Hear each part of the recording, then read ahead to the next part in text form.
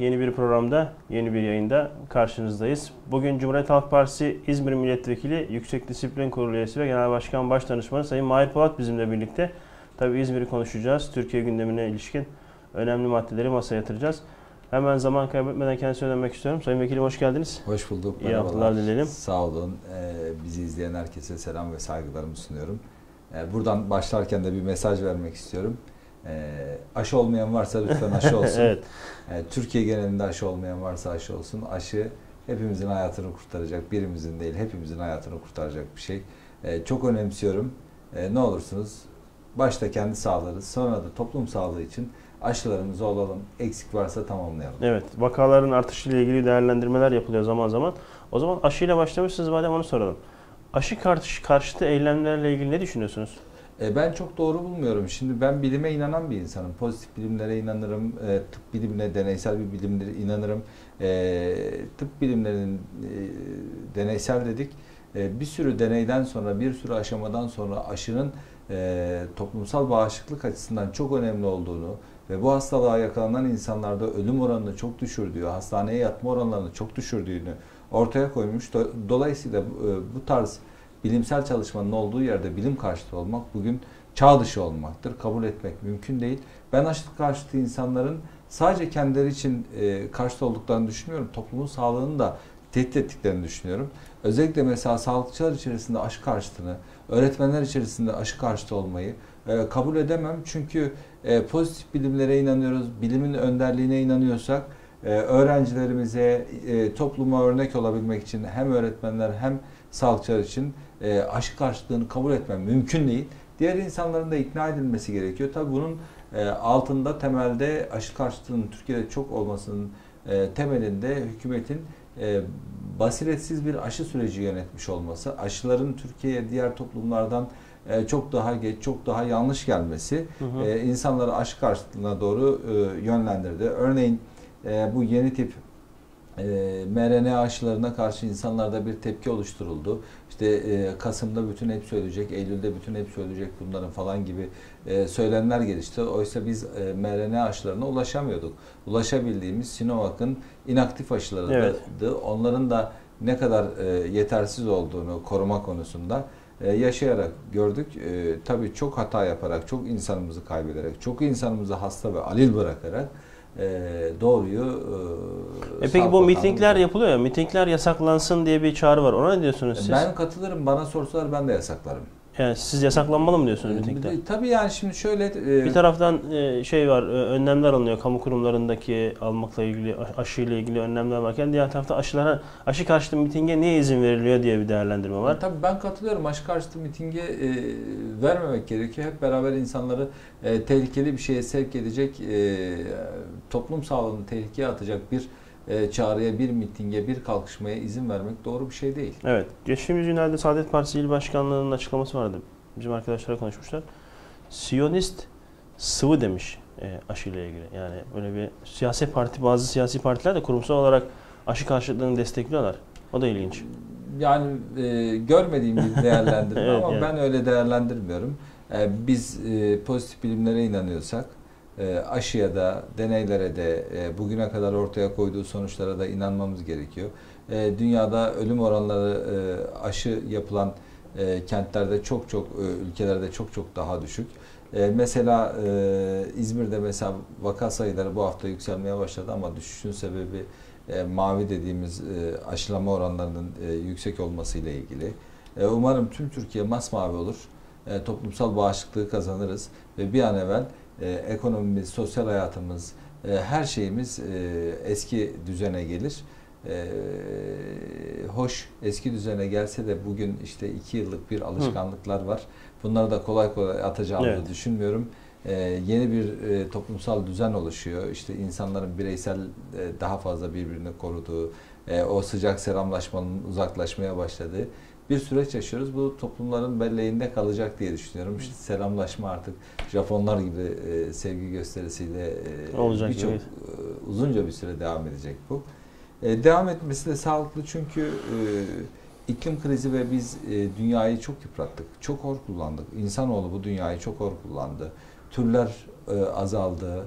e, yok ettik. E, şeyleri, e, ormanlarımızı, bitki örtülerimizi, e, ağaç e, ve hayvan çeşitliliğimizi çok azalttık ve bunların dünyada gördükleri bir, birer etki vardı. Bu etkileri azaltmakla beraber e, işte e, bir takım yerlerde kuraklık yaşanırken bir takım yerlerde selin yakıcı etkilerini Türkiye gibi yerlerde Evet, sel, başladık. sel olaylarını yaşadık, bir sürü Ee, afeti yaşadık. İşte bu şeyleri de iklim krizinden ve değişen dünyadan e, ne diyelim virüs saldırılarında e, virüsün insana geçmesi, bulaşmasında e, uzak e, şeyler değil. Bunlar birbirleriyle ilintili şeyler. E, görünen o ki gelecek yüzyıllarda insanoğlu, insan ırkını bekleyen e, bu tip tehditler oluşacak ve bizim belki hayatlarımızda hep bunlar E şimdi e, siz Çevre şeyler. Komisyonu üyesiniz aynı zamanda Türkiye Büyük Millet Meclisi'nde e, Cumhuriyet Halk Partisi adına. Evet. E, bir tarafta da e, Çevre Şehircilik Bakanlığı adı değişti. İklim e, Değişikliği Bakanlığı eklendi. Hı hı. E, bakanlıkta çalışmalar şimdi iklim değişikliği ile ilgili önlemler alınmaya başlayacak mı? Ee, İsim değişikliği nasıl değerlendiriyorsunuz? Ee, Şimdi Tabelada şöyle bir şeyin ismini değiştirerek bir şey varamıyorsunuz. Türkiye'de uzay araştırma ya da işte uzay e, ile ilgili de bir e, birim var. Sadece e, istihdam ve e, araç alımı bir e, kaynak yaratılmış. Türkiye'nin e, uzay araştırma ile ilgili koyduğu bir şey yok. E, Paris İklim Uzaya gittiğimizde yok. Evet. Biz geçtiğimiz hafta Paris İklim Anlaşması'nı Evet. E, imzaladık. E, meclisten geçirdik. E, onaylandı. 5 yıl e, imza koyduktan sonra 5 yıl e, sonra meclisimize geldi. Evet. 5 yıl sonra meclisimize geldi ve 5 yıllık e, öngörüleri olan anlaşmalar bunlar. Yani 5 sene sonra e, sera gazı salınımını, emisyon hacmimizi şuraya getireceğiz diye taahhütleri e, olan anlaşmalar bunlar.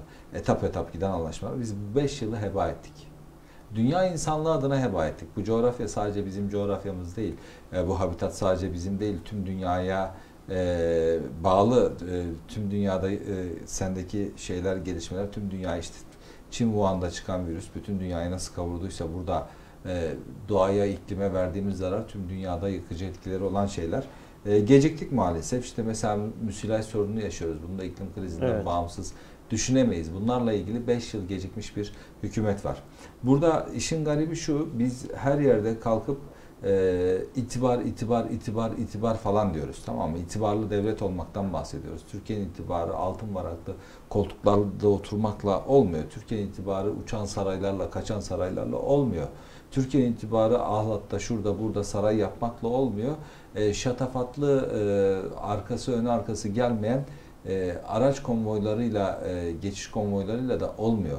İtibar e, dünyaya, e, topluma ne kadar e, katkıda bulunmanızla oluyor.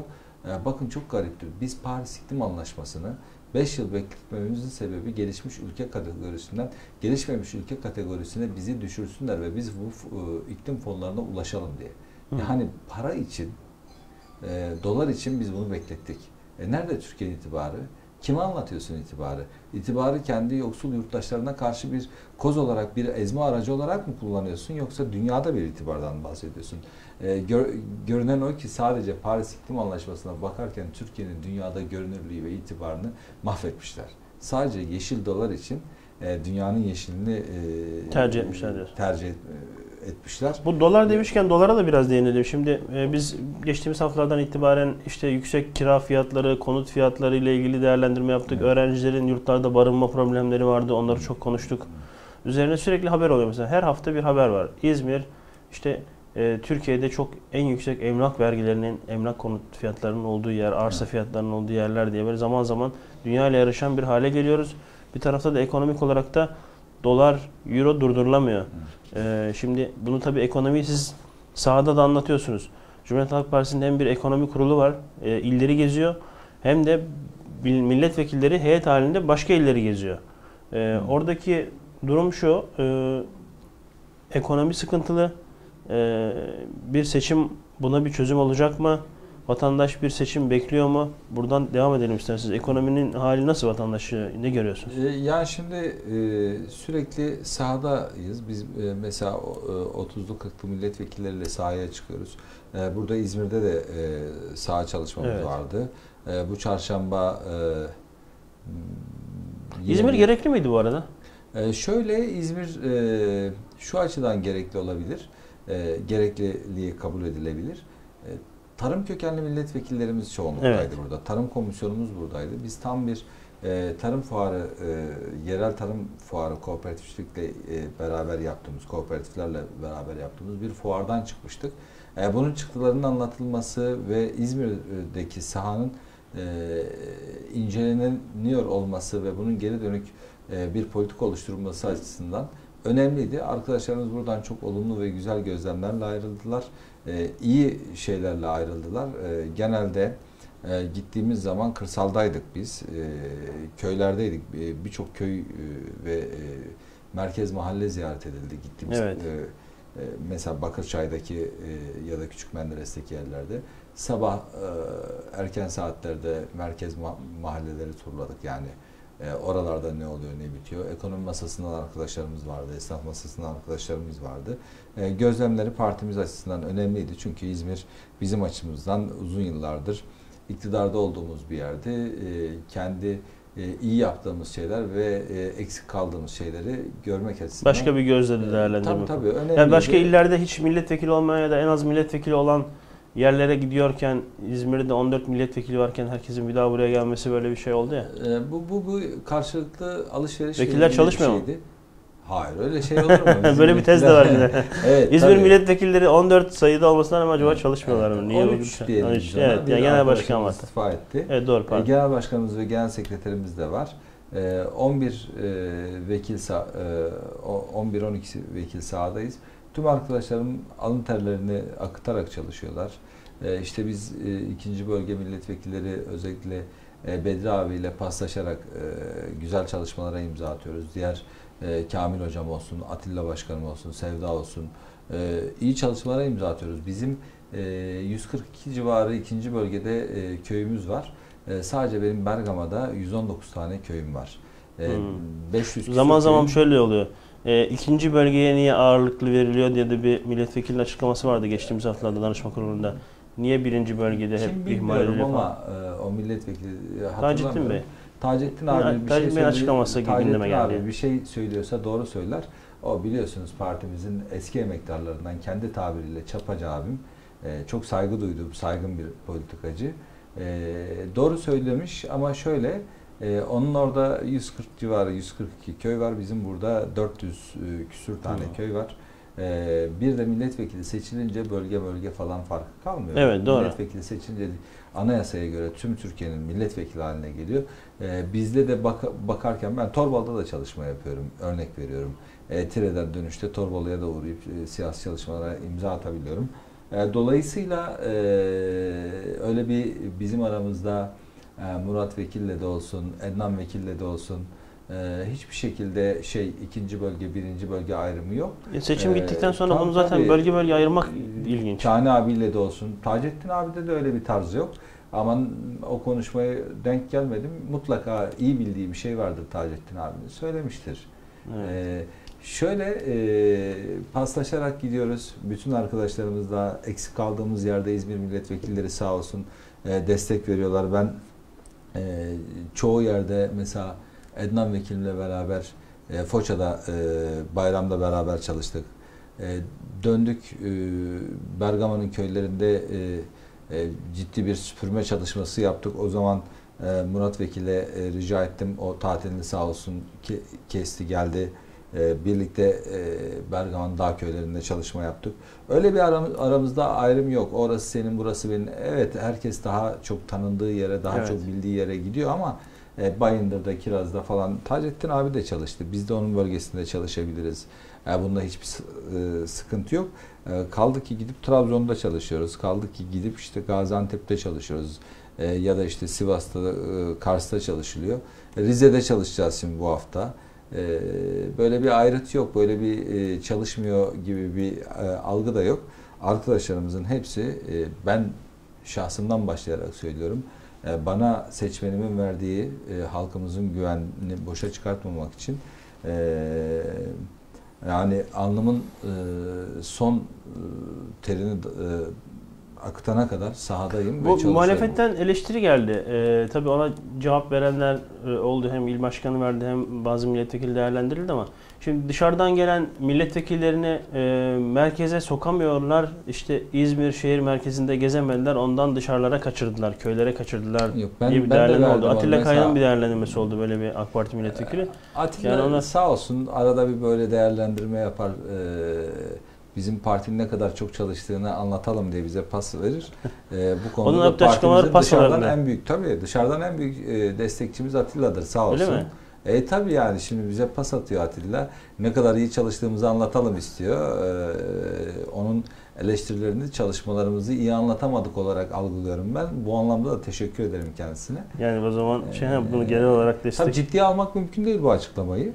Ee, şöyle ben bende fotoğraflar var. Onların Çorum milletvekillerine baksınlar. Gece çalışıyor. Burada, Kentin- İzmir'de. Yo yo. Çorum'da ge- mı? Kendi kentinde gece çalışıyor yani. Gündüz çalışamıyor ki. Gündüz insanların içine çıkamıyor ki. Ya şu AK Parti milletvekili olma e, Allah yardım etsin onlara. Zor mu? Ne diyeyim yani zor. Bir etkisiz ve yetkisiz ve etkisizler. Yani neyle etkisiz? Ee, Bürokrasik olarak yetkililer ama şey mi? Lider karşısında mı? Yani hayır arkadaşım şimdi şöyle e, milletvekili bu sisteme göre milletvekilleri onların kurdukları sisteme göre bir etkileri var mı? Aynı sistemde siz de milletvekilisiniz. Biz değiştireceğimizi iddia ettiğimiz Ha, için evet. milletvekiliyiz. Biz sistemden e, sıkıntı duyduğumuzu iddia ediyoruz. Biz bu sistemi değiştirmek üzere kurulmuş bir siyasi e, Ha, daha lider var. odaklı bir şey var orada. E, yani lider odaklı ve yapabilecekleri e, sınırlı bir şey yapamazlar. E, bir hesap soramazlar. Bakanlar çünkü onların içerisinden çıkmıyor. Parlamentoya hesap vermiyor. Evet. Ama onlar seçmene hesap veriyor. Dolayısıyla o, bakanları savunmak durumundalar. Allah o yüzden yardımcıları olsun. Bir etkileri yok. Ee, siyasi bütün yükü de onlar çekiyorlar. Zor onların işi. Ee, o yüzden e, güç kuvvet versin arkadaşlarımıza. Yerlerinde olmak istemezdim ben bu anlamda. Ee, sonuçta hesap Niye gece çalışma yapıyorlar? Gündüzleri e e, çıkamıyorlar insanlar nasıl çıksınlar ki? Nasıl çıksın? Şimdi gelsin e, bana anlatsın şimdi. Bana ödemişti anlatsın. E, Suriye'den geçtiğimiz yıl son 11 yılda ne kadar patates ithal ettiğini e, ödemişli vatandaşın yüzüne bakarak anlatsın. Türkiye'ye ne kadar buğday geldiğini gitsin Konya'da anlatsın ithal et- ettiğini. Dünyanın buğday ambarı Konya'da niye buğday ithal ettiğimizi anlatsın. Gitsin Ardahanlı'ya Ardahanlı'ya, Ardahan'daki hayvancıya samanı nasıl ithal ettiğini ve niye ithal ettiğini anlatsın. Nohut üreticisine nohutu niye? Ya Ya bunlar bakın, fotoğrafları nereden paylaşıyorlar peki? Mesela Çok dün Hamza, şey Hamza. Dağ vardı. Sosyal medyada aklıma geldi şimdi. Tire'de, Tire'den fotoğraflar e, paylaşmış. paylaşır kendi örgütüyle çıkarsın paylaşırsın. Bak ben örgüte haber vermeden kimseye haber vermeden birçok köyde geziyorum.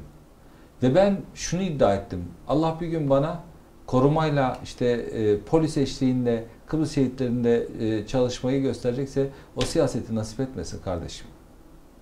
Bak şimdi buradan çıkacağım. Yürüyerek Kıbrıs şehitlerinde elim cebimde insanların arasında keyif alarak dolaşacağım.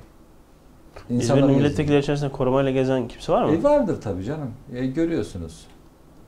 E mesela Binali Bey e, gezemiyor bile. İzmir milletvekili tabii. değil mi? Yani. E, e, konumuz aslında onlar değil. Evet. Onların durumu da değil. E, şöyle e, Türkiye'nin ekonomik olarak bir çıkmazın içerisindeler ve gittikçe daha da fazla aldıkları kararla e, Türkiye'yi çıkmaza sürüklüyorlar.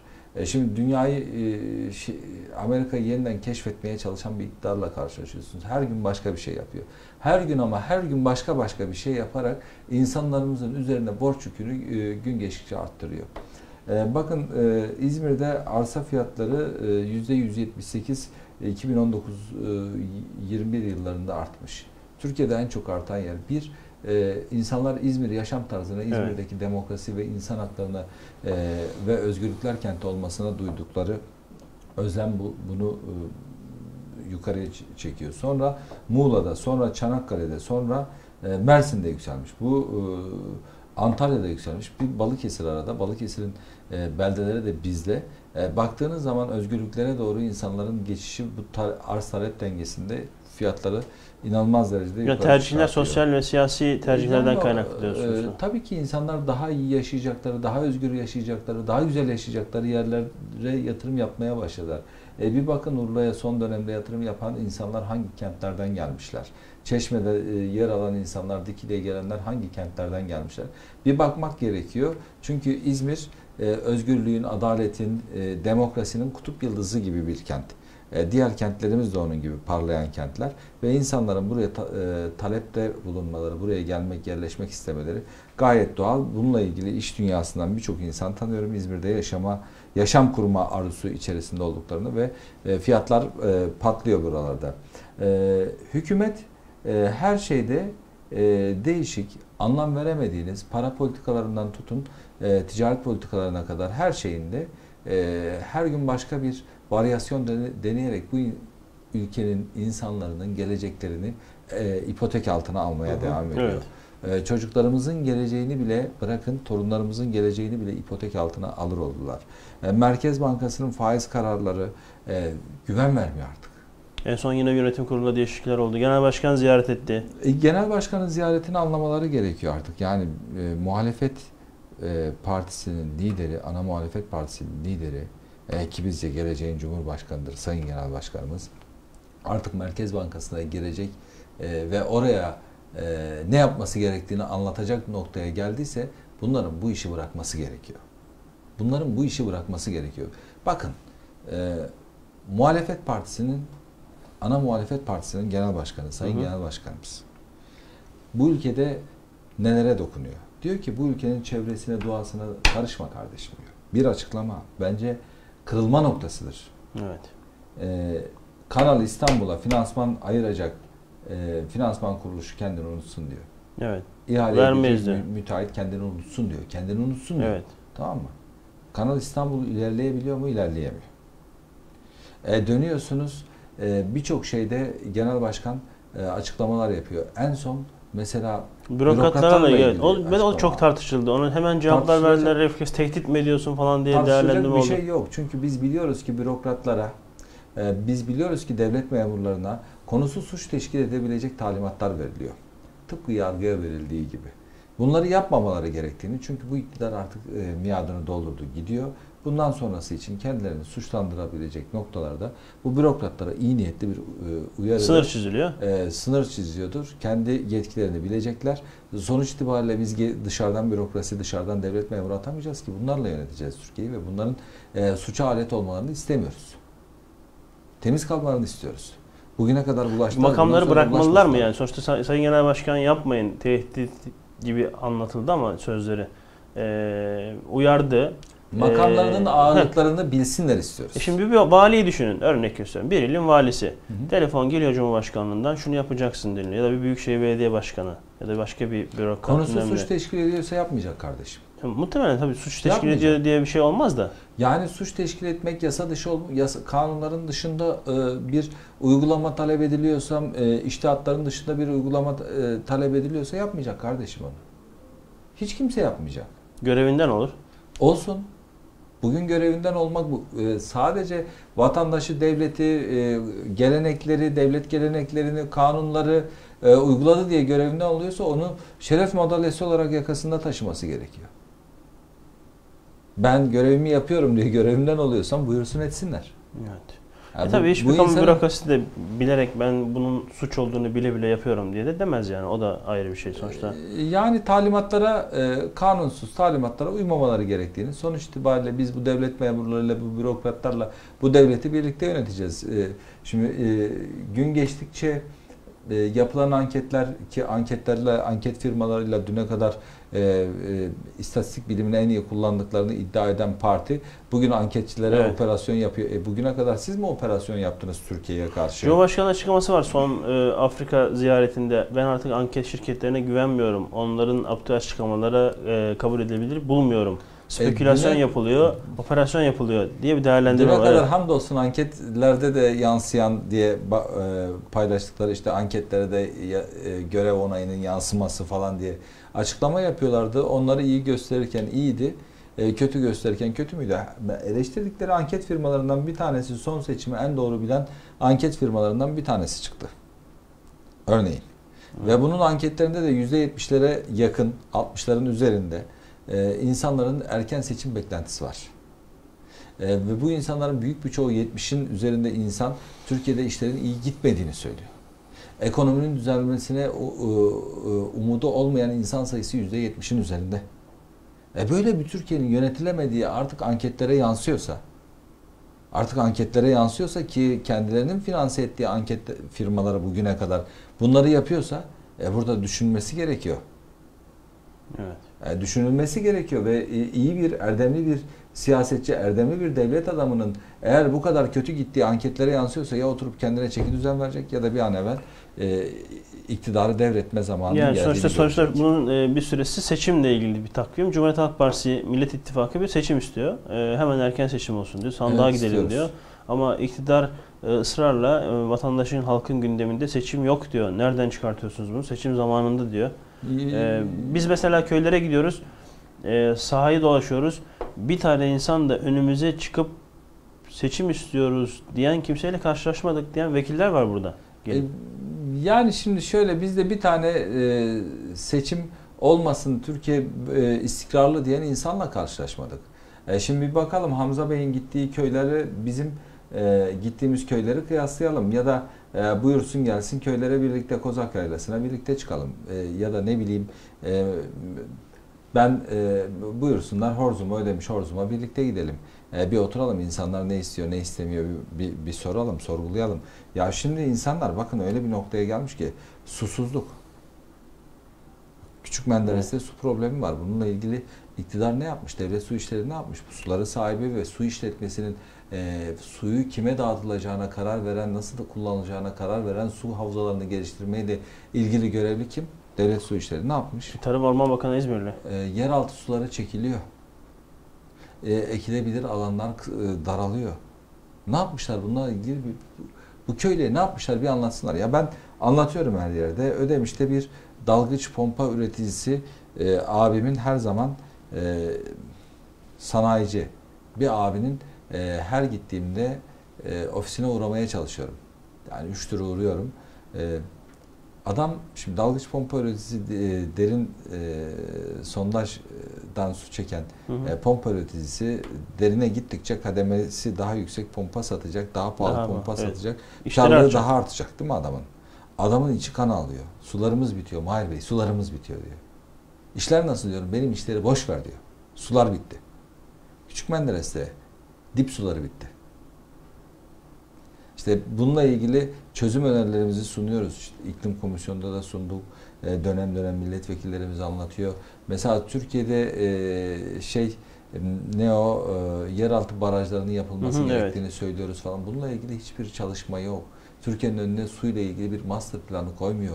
Cumhuriyet Halk Partisi belediyeleri e, suya sahip çıkmakla ilgili yaptıkları şeyler var ama bunlar merkezi hükümeti politikaları bunlarla ilgili hiçbir şey yapılmamış. Tarım Orman Bakanlığı hiç e, komisyona geliyor mu Tarım Orman Bakanı? E, bilmiyorum ben o komisyonda değilim. Ben çevre e, Hayır sonuçta Çevre. Komisyonu illa Çevre Şehircilik Bakanlığı ile ilgili bir şey değil ki. Suyu anlatabilir, havzayı anlatabilir. Yok gelmedi Yani bugüne böyle- kadar hiç gelmedi.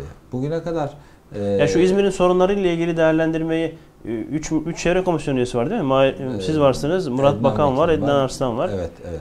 Ee, yani varız. 3 3 milletvekili de az değil. Evet. e, yani- İzmir'in konularını anlatabileceğiniz bir şey bakan bakana bir ziyaret ya da bakanla bir görüşme, bakana bir e, şey olamaz mı yani? Ee, Görmüyor mu? Ne yapıyor? Ee, Yani şimdi şöyle e, gidilebilir tabii ki. Biz iletişime kapalı insanlar değiliz. Onlar da bize bugüne kadar bir sürü soru önergeleri verdik. E, gelin bakalım kardeşim bu soru önergelerini verdiniz. Biz meclise geliyoruz. Nöbetçi bakanız bir görüşmek, bir kahve içmek, bu İzmir'in sorunlarını konuşu, konuşmak istiyoruz gibi bir yaklaşımız e, Tarım Bakanlığı yok. Bekle, beklemiyorum da zaten. Arkadaşlarım da beklemiyor. Ama gerek duyarsak biz e, gideriz. E, değerlendirir değerlendirmez kendisi bilir. Bizim şeyle Çevre Bakanlığı'yla Çevre ve Şehircilik Bakanlığı'nın bürokratlarıyla ilişkilerimiz konusunda bir sıkıntı yok. E, orada e, çevreyi bilen belki de çok iyi donanımlı kadrolar Evet. var fakat siyasi siyasal e, iradeye bağlı çalıştıkları için yapabilecekleri çok bir şey yok. Söylerin, söylediklerinin de kifayet e, bir, bir, bir kifayetinin olduğunu e, düşünmüyorum. Fakat iyi yetişmiş kadrolar olduğunu biliyorum çevre e, özellikle çevre konusunda Çevre Şehircilik Bakanlığı'nda. e, başından beri bakanlığı biz eleştiriyoruz zaten. Çevre ve şehircilik. Evet. Şimdi birisi Aynı e, arsa yaratmaya çalışıyor, birisi de e, tarım alanlarını, e, işte orman al- alanlarını, doğal yaşam alanlarını savunması gereken, birbirleriyle çatışan alanlarının yoğun olması gereken e, bakanlıklar bugüne kadar bir çatışma yok. Hal- e, Her şey betona e, yönelik gidiyor. E, Bu anlamda e, tabii biz iktidara gelirsek bu çevreye başka bir e, şekilde bakacağımızı biliyorum ben. Evet. Bunu da buradan ifade etmiş olalım. Şöyle bir bizi izleyen çok sayıda kişi var. Hepsine ayrı ayrı selamlarımızı gönderelim. Ee, Niyazi demiş Karkamış'tan selamlarımı gönderiyorum Sayın Vekilim demiş. Murat Işık e, yine Karabağlar Belediyesi'nin kentsel dönüşüm projesiyle ilgili e, müdahale etmenizi istiyor. Ee, İbrahim Cengiz selamlarını göndermiş. Vekilime sorar mısınız? Ee, 20 yıldan beri İzmir Büyükşehir Belediyesi CHP'de ne zaman şehir içi trafiğini çözmek için alternatif yollar yapacaklar? Patates tarlası gibi oldu şehir merkezindeki yollar. Kim söylüyor? Ayda bir rot balansa gidiyoruz demiş. Tamire gidiyoruz demiş. Sinan Küçük. O, Hı. ulaşımla ilgili genel bir Hı e, sıkıntıyı anlatıyor herhalde. Binali Gül selamlarını göndermiş. Ahmet Kocaşal, Cevat İnal, Binnaz Kapakçı. Yine Yaşar Tekin e, ekonominin sıkıntıları e, ve e, meclisteki çözüm önerileri konusunda e, öncülük ediyor. E, bir ticaret bakanı gibi çalışıyor demiş. Sizin zaten bakan olmakla ilgili bir şeyiniz vardı değil mi? E, önümüzdeki döneme ilişkin hedefiniz. E, Ticaret Bakanı olmak üzere. Hüseyin Polat gelmiş. Murat Bakan, değerli kardeşim, milletvekili arkadaşım Mahir Polat'a iyi yayınlar diliyorum demiş. Sağ Selamlarımızı gönderelim biz Sağ de olsun Murat abi. Murat Vekil'e. Erem Şükran Kanan Zafer Mahallesi'nden selamlarını göndermiş. Şöyle bakıyorum. E, biz partiliyiz. E, partimiz kimi gösterirse onun yanındayız. E, bugün belediye önünde çalışma yaptık diyor Ali Kaşıkçı. Herhalde bir ilçedeki belediye ile ilgilileri söylüyor. Oray Gürbüz'e selamlarımızı gönderelim. Tanju Özbek, Selma Uysal, İbrahim Güngör, e, Can Ersoy'a da yine Gültekin, Leyla Çavga'ya da selamlarımızı gönderelim. Size de çalışmalarınızdan dolayı teşekkür ediyorlar. İzmir Milletvekili olarak Sağ olsunlar. İzmir'in sorunlarını gündeme getirdiğiniz Sağ olsunlar. için.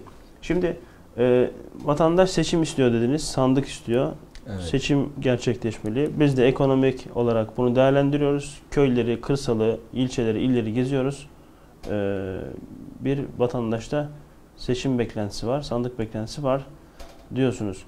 Ee, tabii şimdi yani bir taraftan bu var ama Cumhurbaşkanı adaylığı ile ilgili değerlendirme yapılıyor. Yine e, soralım. E, ittifakta Cumhurbaşkanı adayı kim olur? Büyükşehir Belediye Başkanı Ekrem İmamoğlu da dolaşmaya başladı. Ankara Büyükşehir Belediye Başkanı ismi dolaşıyor. Yani bu Cumhurbaşkanı adayı bir genel başkandan mı çıkacak? Yani şimdi ben tabii ki e, Sayın Genel Başkanımın Cumhurbaşkanı aday olmasını çok isterim. Evet. E, çünkü e, Türkiye'yi e, aydınlığa taşıyabilecek e, çok önemli bir insan. Türkiye demokrasisi, toplumsal barışı için, e, Türkiye'de ekonomi için, e, Türkiye'de liyakatli yönetim için inanılmaz emek vermiş. Bugüne kadar e, bütün enerjisini buna e, aktarmış bir genel başkanım var.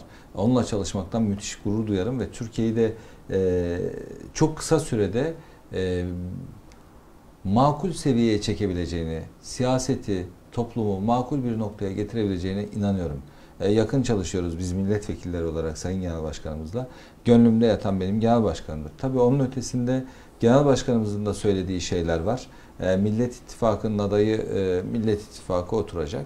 Karar E, bakacak, karar verecekler. Bugünden e, ben gönlümde yatan aslan Sayın Genel Başkanımdır. E, bugünden öyle bir e, şeyi söylememiz mümkün değil. E, budur demesi Cumhuriyet Halk Partisi'nin mümkün değil. Hep beraber oturulup karar verilecek. E, sonuç itibariyle e, Cumhurbaşkanı olacak kişiyi çok zor günler bekliyor. Bir, sistem değişikliğine gidecek. Evet. İki, Türkiye'nin e, yaralarına acil e, çözümler getirecek. Üç, e, üretmekten aciz olmuş Türkiye'yi kırsalıyla, sanayisiyle, hizmet sektörüyle tekrardan üretebilir bir ülke haline getirecek. Dört, e, çalışma hayatını yeniden, her yönüyle yeniden düzenleyecek bir cumhurbaşkanı olacak bu. Evet. Bunların hepsi yapısal sorunlar ve hızlı bir şekilde bu yapısal sorunların hepsinin e, aşılması gerekiyor, çözülmesi gerekiyor. E, ki Türkiye'de mesela e, uzunca bir süredir toplum kamplara bölünmüş. Bu kampları ortadan kaldıracak, makul bir seviyeye çekecek bir anlayışa sahip. Ben bu anlayışı Sayın Genel Başkanım'da görüyorum. Tabii ötesini değerlendirmek Millet İttifakı'nın işi. Evet, ittifakta kimlerin olacağıyla ilgili de henüz daha net bir açıklama ve şeyler yok. Her siyasi parti kendi Ya ben bu- değerlendirmesini bu- yapıyor. Buradan bu ekranlardan hep söyledim. Bizim ittifak şöyle bir menfaatler birliği iktidar e, ittifakı değil. İşte sen beni bir yere taşı ben seni bir yere taşıyayım değil. Bizim memleket meselemiz. Evet. Bizim meselemiz memleket.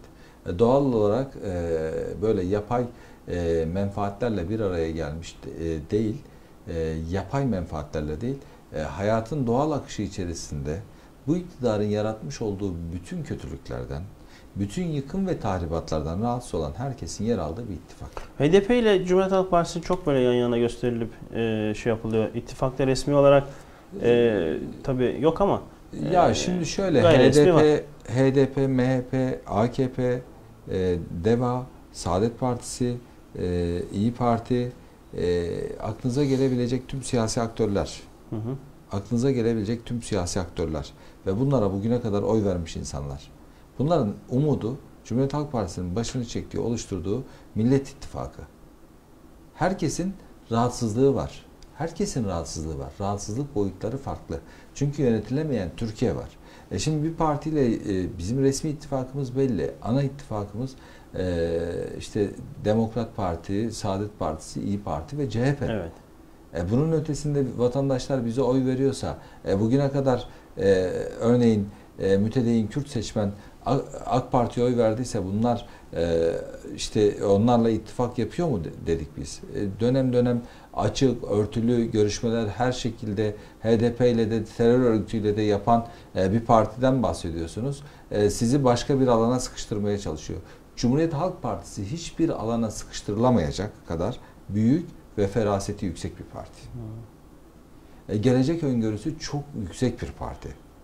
Bakın biz toplumsal barışı Sayın Genel Başkan adım adım örüyor. Partimiz adım adım örüyor.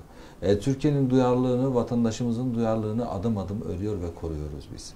E, e, hepimiz belli inanışlardan gelen, e, ortak inanışlardan gelen, ortak inanışlarımızı büyütüyoruz. Ortak değerlerimizi tartışmaya kapatıyoruz, büyütüyoruz. E, bunları e, öngörüsü yüksek bir parti yapabiliyor ve ittifakı yapabiliyor. E, bugün kalkıp e, Türkiye'nin ihtiyacı olan şey toplumsal barış ve toplumsal uzlaşı ise e, Sayın Genel Başkan gösterdi. Oslo'da, işte Habur'da, e, İmralı'da, e, Kandil'de değil, mecliste konuşulmalı. Evet. Yasal bir e, Sü- temsilci var Sürecin orada, çözümü süreç var e, orada diye. meclistir diye açıklama Ee, oldu. Evet. Yani bu açıklama kapalı mahfiller arkasında başka işler çeviren insanların elbette ki hoşuna gitmiyor. Biz vatandaşın sorununu, vatandaşın, milletin sorununu milletin meclisinde konuşalım istiyoruz. Sorun her neyse. Sorunun adı Kürt sorunu da olabilir. Sorunun adı ekonomi de olabilir. Sorunun adı susuzluk da olabilir. Sorunun adı emeklilikte yaşa takılanlar da olabilir. Evet, Bunların konuşulacağı her şey, her yer meclistir. Kapalı kapılar ardı değildir. Siz bu milletin çocuklarına bedel ödeteceksiniz. Bu milletin meclisinde görüştürmeyeceksiniz. Yok öyle bir yağma. Yok öyle bir yağma. Biz her şeyi şeffaf, hesap verilebilir, e, kurumsallaşmış yapı içerisinde kurumlarla çözeceğiz. Öyle kalkıp e, kapalı kapılar ardında bugün işime e, analar ağlamasın deyip iki e, damla gözyaşı döküp ondan sonra akil adamları sahaya salacağım bilmem ne yapacağım sonra kendi iktidarımı devşireceğim ondan sonra memleket yansa umurumda değil diyeceğim. Böyle bir anlayışta Cumhuriyet Halk Partisi olmadı olmayacak. Evet. Yavaş yavaş İzmir'le ilgili değerlendirmelere de dönelim e, Sayın Vekilim. Şimdi e, geçtiğimiz haftalarda siz ne zaman önceki günlerde çıkıyor? İzmir modeli Türkiye'ye örnek olmalı dediniz. Bunu tarımla ilgili dediniz değil mi? Onu Ee, sorayım şu önce. kooperatifçilikle ilgili Heh. yeni bir yasa geliyordu. Ee, Evet. o yasayla ilgili e, konuşmuştum. Benim yüksek lisans tez konum e, yerel yönetimler ve Bu İzmir Büyükşehir Belediyesi'nin İzmir modeli uygulaması var. Kırsalda kampanya. İzmir tarımı dediğimiz İzmir tarımı, evet. Üreticilerden, başka bir e, mümkün şey olduğunu alıyor. gösterdiğimiz evet model var. E, bu modeli dilim döndüğünce anlatmaya çalışıyorum ben her, her yerde. E, bu modelin e, direkt katkılarının yanında endirekt katkıları da var. Mesela bunu hep anlattım ben. Direkt katkısı kırsalda yaşayan insanların hayatına dokunuyor, daha iyi tarım yapmalarını sağlıyor, daha iyi kaz- para kazanmalarını sağlıyor.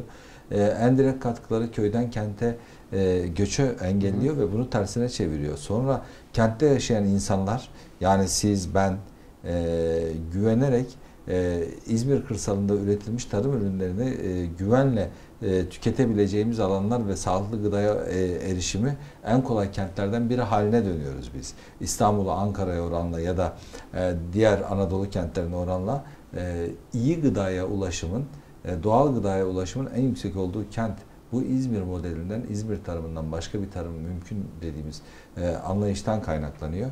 Bu anlayışı büyütmek, Türkiye kırsalına başka bir gözle bakmak önemli.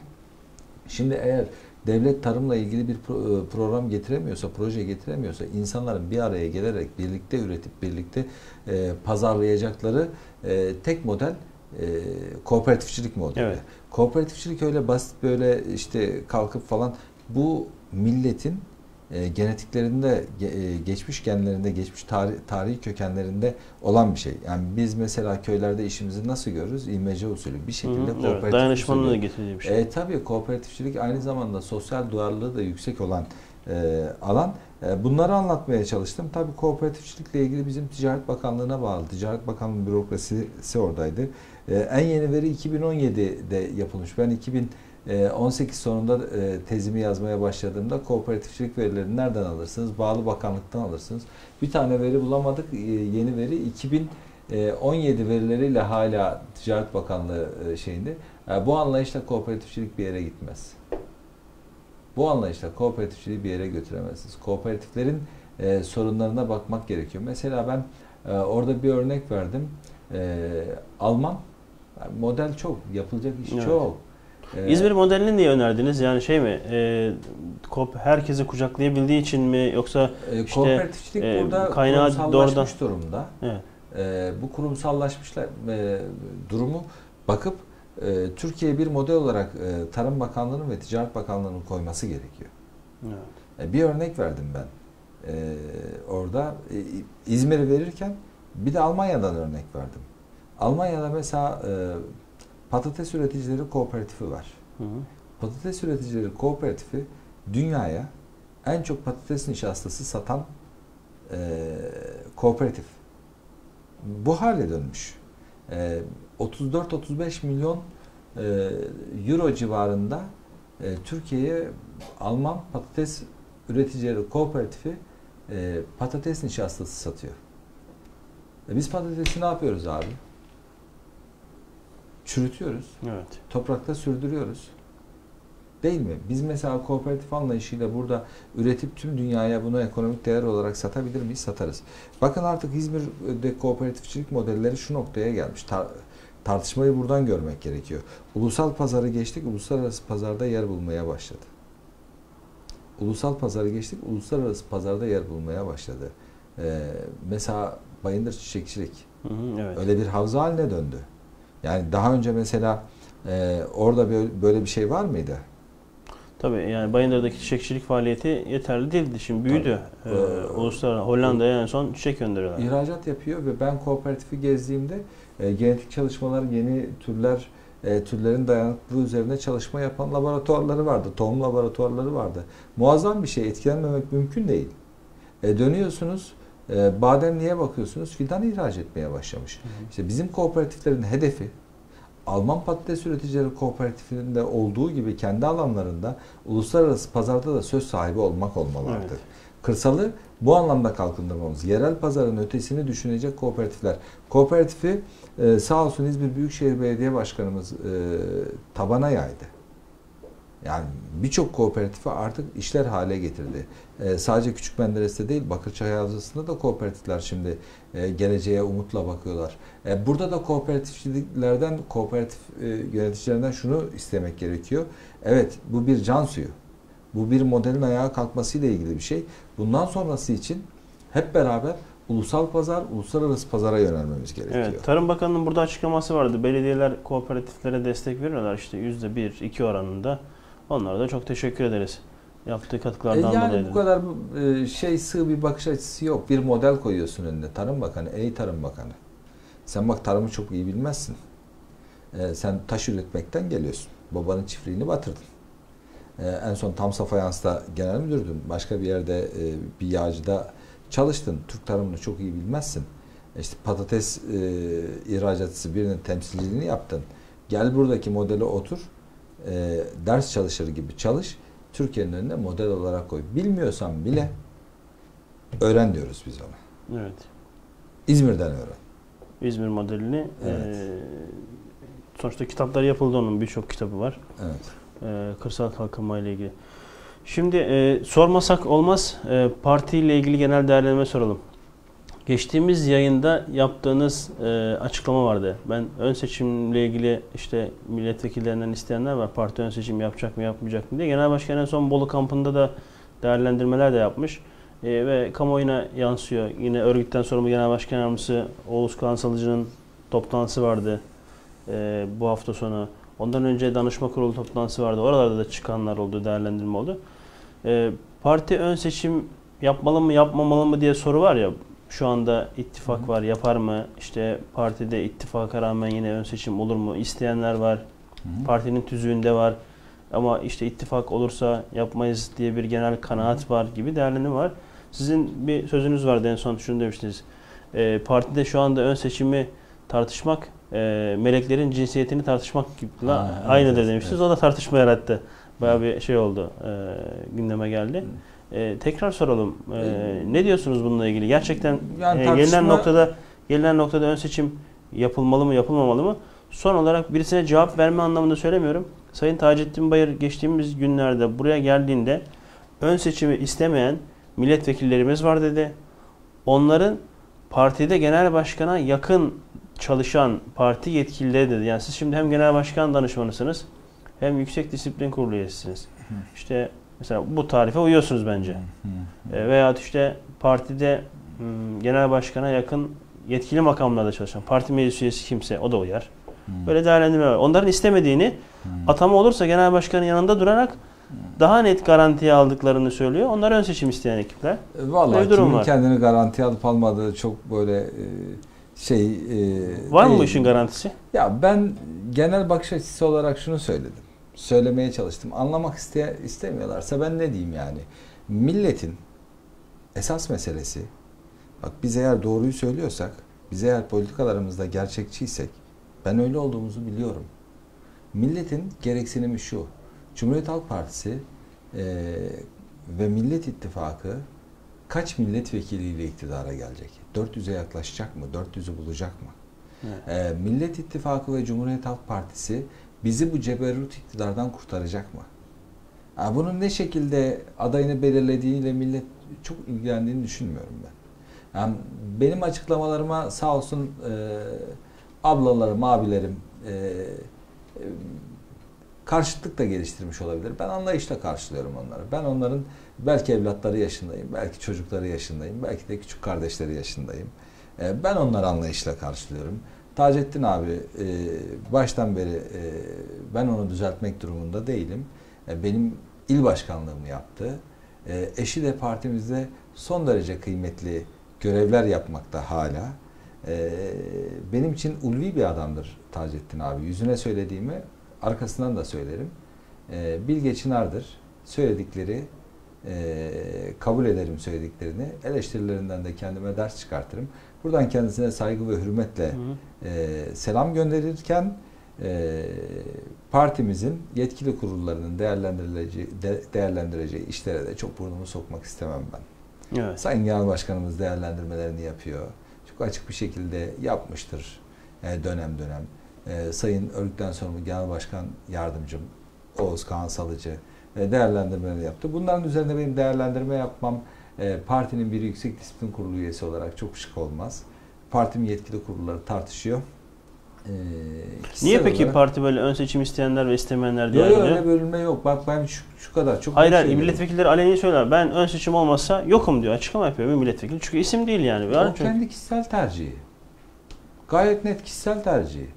E, ben ben ön seçim olsa da olmasa da o olsa da bu olsa da e, bir ayrım var. Bakan olacaksam milletvekili olmam. Onun ötesinde milletvekili bir dönem daha olmak isterim. Evet. Ya bunun yönteminin ne olması, ne olmaması beni e, çok ilgilendirmiyor. Ön seçim olsa da adayım, olmasa da adayım. Bu kadar. E, partimin iktidarına katkı vereceğim ve o coşkulu, o görkemli günü e, burada, bu kentte milletvekili olsam da olmasam da hı. e, halkımla birlikte kutlayacağım kardeşim. Benim hedefim bu. Ben siyasete girerken eşim benim devlet memuru. Apolitik bir insan. Evet. E, politik yorumlarda, değerlendirmelerde hadsizlikte de bulunmaz hiçbir zaman. Evet. Kastını asla aşmaz. E, 2002 AK Parti iktidara geldi. E, ben Cumhuriyet Halk Partili bir babanın evladıyım. Ben babamı 78'de seçim kaybettiğinde e, öldü diye hastaneye kaldırmış e, dede ve amcayı görmüş bir adamım. Bizim partiye bakışımız bu kardeşim. Evet. Başka bir şey değil. Ha, eşinizden niye bahsettiniz? Eşimle oturdum. 2002'de sandık görevlisiydim. Müşahittim. Yani e, iş dünyasındayım. Hayatımı kazanmaya çalışıyorum. Yeni evliyim. E, iktidara geldi bu adamlar. E, bildiğiniz çok e, olumsuz etkilendim. Dünyam böyle Türkiye'nin bu geleceğini okudum ve eşime dedim ki bana ne olur izin ver. Ne olur izin ver. Ben bu daha hiç çocuğumuz yok. Çocuklarımız olacak ve bu çocuklarımızın geleceğini karartacak bu adamlar. Bu adamlar gidene kadar bana izin ver ben çalışmak istiyorum diye. Anlatabiliyor muyum? Benim siyasete bakış açım bu. Bu adamların, bu iktidarın gittiğini ve bu ülkede iyi bir düzenin, bu ülke insanının hak ettiği düzenin, demokrasinin, adaletin, özgürlüklerin, huzurun ve kalkınmanın egemen olduğu bir düzenin kuruluncaya kadar ben ailemden izin aldım kardeşim. Evet. Vizeyi uzun almışsınız. Çalışıyorum. Ya uzun olmasını çok istemedim. evet. O yüzden siyasette nerede bulunduğum, nasıl bulunduğum, hangi koltukta, nerede ne olduğum önemli değil. Kişisel siyasi kariyer planımın hiç önemi yok. Evet. Bak, doğmamıştı çocuklarım. Hiç çocuğum yoktu, yeni evliydim, 3 aylık evliydim. 2 aylık, 3 aylık evliydim. Hiç önemi yok benim nerede olduğumun. Ya da kimin nerede olduğunun çok önemi yok. Bu memleketin geleceğinin karşısında hiçbir siyasi ikbal hesabının hiçbir önemi yok. Benim açımdan, benim bakışım bu. Dolayısıyla Taceddin abi de benim abimdir. Ee, ben sandık e, sorumluluğu, mahalle temsilciliği, müşahitlik yaptığım, Hı. sokak sorumlusu olduğum dönemdeki il başkanımdır. Ee, o yüzden yerimizi biliriz. Taceddin abiye laf yetiştirmek benim şeyim. Yo, ben Aramızda laf- hiçbir sorun Laf, yok. laf yetiştirmekle ilgili bir şey İzmir- söylemiyorum zaten. Ya ben İzmir genel değerlendirmek istiyorum. Bakın ben çok samimi bir şey söyleyeyim. İzmir milletvekili. Yani Atilla Sertel. Üzerimde emeği var. Ben Atilla Sertel sayesinde e, kısa bir anımı anlatayım kapatalım. Ee, yeni milletvekiliyim. Milletin kürsüsüne çıkıyorsun. Ya ben yemin ederken gözümden yaşlar gelerek yemin etmiş bir adamım. Çocukluk hayallerimi gerçekleştiriyorum. Ya O, kürsü, o- oraya gidiyorsunuz o milletin Evet. verdiği yetki öyle bir şey ki yani o, o duyguyu e, Allah her kuluna nasip etsin isterim. Ee, ilk kürsü konuşmam işte konuşma metinleri hazır. Onlarca kez okumuşuz. Ee, çıkıyorsun tamam mı? Milletin kürsüsüne çıkıyorsun. Milletin vitrine çıkıyorsun. Seni televizyonlar çekecek e, şeyler atılmış. İnsanlar izleyecek. Ee, SMS'ler atılmış, sosyal medya, bir heyecan var. Abi ben kürsüdeyim, elimde kağıtlarım. Ee, konuşmaya değil okumaya başladım. Hani bu laf atma geleneği var ya, şimdi e, AK Partililer, MHP'liler bana laf atacak diye böyle bir heyecan var. İnsanız sonuçta. Evet. Biri bana laf atıyor abi. Okuma, okuma diye böyle davudi bir ses. Ben kafayı kaldırdım Atilla abi bana. Ben o gün okumadan spontane konuşmayı öğrendim. Emeği budur üzerimizde. Bi- bi- Bizim birbirimizin üzerinde emeğimiz çok. E, dolayısıyla aramızdaki e, hiçbir şeyde sorun yok hiçbir milletvekilde.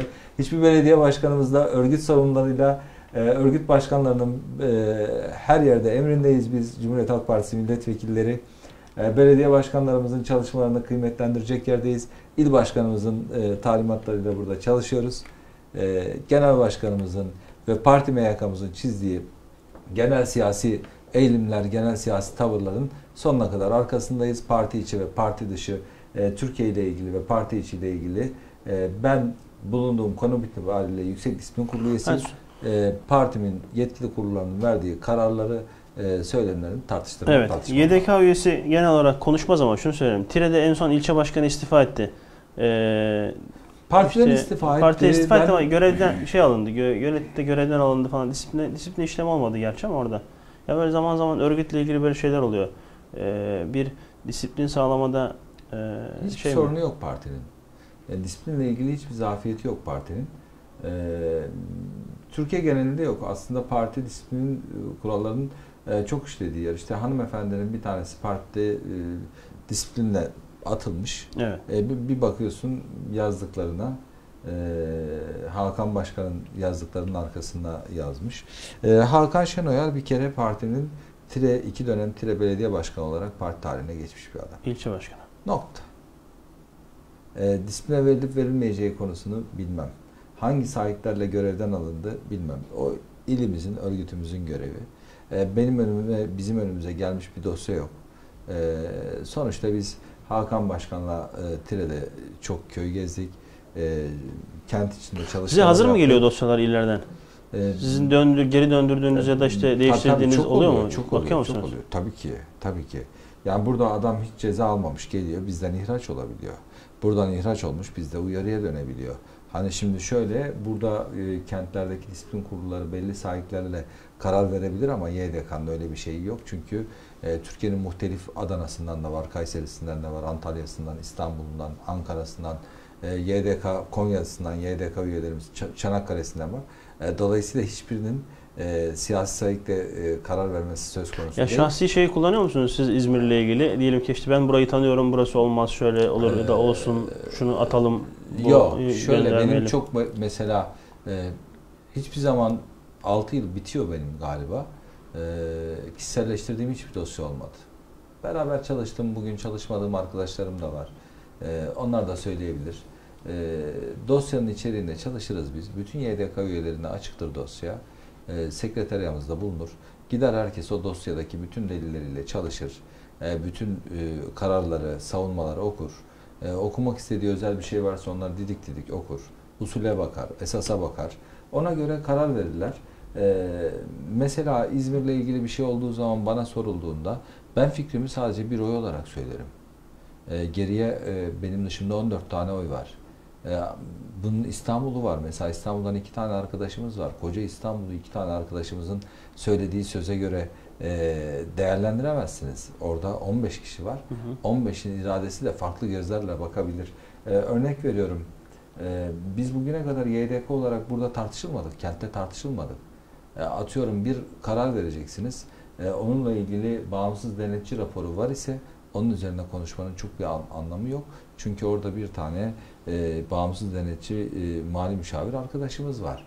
Ya da avukat arkadaşlarımız var. Ya da işte e, iş dünyasından gelen siyasetçi arkadaşlarımız var. E, bunların hepsinin iradesi e, ortak bir noktaya e, ba- basıyor, ortaklaşıyor ya, ya da ya oy birliği ya da oy çokluğuyla karar veriyoruz. E, bunu bir Mahir Polat'ın İzmir'le ilgili sağlaması mümkün değil. Çünkü İzmir'le atıyorum e, Tire ile ilgili konuşacak olursak Tire'nin öte yanı Naz- Nazilli. Evet. Nazilli'den bir YDK üyemiz var bizim. Tabii evet. Ee, öbür tarafına e, geçin az ilerisi Antalya. Antalya'dan var. Ee, insanlar birbirleriyle iletişim kurup dertlerini anlatabilir ve açık bir şekilde e, kendini savunmak isteyen yani bazen e, saatlerimizi alıyor. Bizim sağ olsun m, iyi bir YDK başkanımız var. Uğur Bayraktutan Evet. bugüne kadar çok başarıyla götürüyor. Ee, bir e, örnek abidir bizim için Uğur Bayraktutan müthiş bir sabırla dinler. Kendini anlatmaya gelmiş adam. Parti genel merkezine gelmiş. Partisinin mabedine gelmiş adam ya. O adamın sözü kesilmez, dinlenir. e, kendini savunmasına izin verilir. e, çok böyle terse düşürmek istenmez. Sonuçta onun söyleyeceği ve dosyalar hem e, hukuki hem vicdani kanaat getirme noktasında ortaklaşılır. Benim tek başıma İzmir'le ilgili karar vermem söz konusu değil. E, karar bir ortak karardır. Ve bugüne kadar YDK kararları İzmir'de, kentte tartışılmadı. Herkesin üstünde uzlaşa, ya "Aa, bu adamı at- attılar, ayıp ettiler dedikleri bir nokta yok. E, somut delil, e, tutum, vicdani kanaat, parti hukuku, iştahatlar. Evet. Yan Bunu- yana geldiğinde ne yapılması gerektiği belli yani. Evet. Bunu da ifade etmiş Olalım. Sayın Vekilim çok teşekkür ederiz. Ben teşekkür ederim. İyi çalışmalar diliyoruz Çok size. teşekkür ederim. İyi Çok sağ olun. şimdi. Herkese selamlar. Bizi izleyen çok sayıda kişi vardı. Hepsine ayrı ayrı selamlarımızı gönderelim. Yorumlarıyla, mesajlarıyla programa katılanlara da teşekkür ediyoruz. Evet değerli Ege'de Son Söz takipçileri ve Son Söz TV izleyenleri. Bugün Cumhuriyet Halk Partisi İzmir Milletvekili, Yüksek Disiplin Kurulu üyesi ve Genel Başkan Başdanışmanı Sayın Mahir Polat bizimle birlikteydi. Birçok konuyu konuştuk. Bir sonraki programda görüşmek ümidiyle. Hoşçakalın, sağlıcakla kalın, bizden ayrılmayın. Bye.